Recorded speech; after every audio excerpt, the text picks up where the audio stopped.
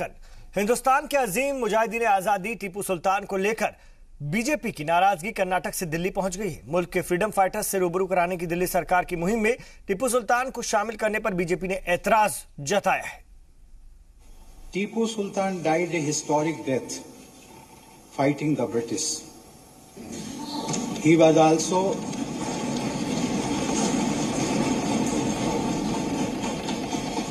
he was also a pioneer in the development and use of Mysore rockets in warfare.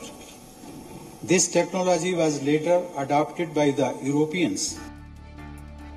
ये बयान है मुल्क के सदर जमहूरिया रामनाथ कोविंद का जो कर्नाटक असेंबली में एक तकरीब के दौरान दिया गया था सदर के बयान के बाद भी टीपू सुल्तान को लेकर बीजेपी का रुख अभी साफ़ नहीं हो पाया है और दिल्ली असेंबली में शेर मैसूर की तस्वीर लगाने पर सवाल उठाया है।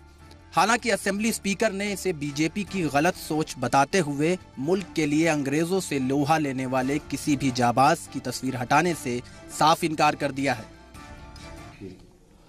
भाजपा वाले अपने आप को भारतीय संस्कृति के पालक मानते हैं। टीपू सुल्तान पर कंट्रोवर्सियाँ खड़ा करना अंग्रेज़ों से युद्ध नहीं किया क्या? उसे नकारेंगे?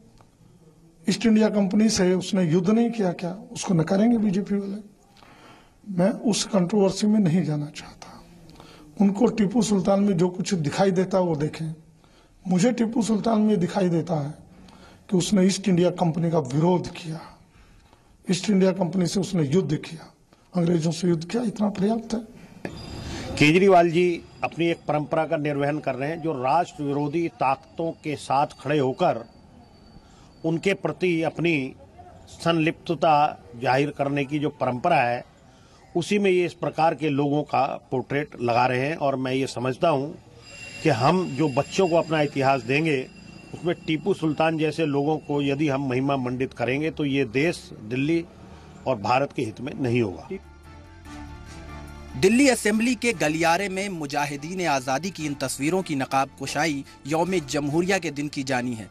लेकिन इससे पहले ही बीजेपी ने ये नया तनाज़ा छेड़ दिया है। असेंबली में तात्या टोपे से लेकर लक्ष्मी बाई, नाना राव पेशवा से लेकर बिरसा मुंडा तक की तस्वीरें लगाई गई हैं। लेकिन सत्तर तस्वीरों में जिससे लेकर बीजेपी हमलावर हो गई है, वो तस्वीर है शेर मैसूर टीपू सुल्तान की। हालाँकि दिल्ली स्पीकर ने इसे काबिल फख्र करार दिया है। कोई चित्र नहीं हटेगा। ये सत्तर के सत्तर चित्र जो हैं, इनको नंबरिंग करके आगे कोई हटा भी नहीं सकेगा। एक जनरल पर्पज कमेटी होती है विधानसभा की। वो जनरल पर्पज कमेटी से अप्रूवल ले दिल्ली विधानसभा एक ऐतिहासिक विधानसभा रही है। कलकत्ता से जब राजधानी शिफ्ट हुई दिल्ली 1912 में, ये उस वक्त की विधानसभा है। तब इसको सेंट्रल लेजिस्लेटिव असेंबली बोलते थे। 1912 से 26 तक ये विधानसभा रही। 26 के बाद वर्तमान लोकसभा वहाँ शिफ्ट हो गई।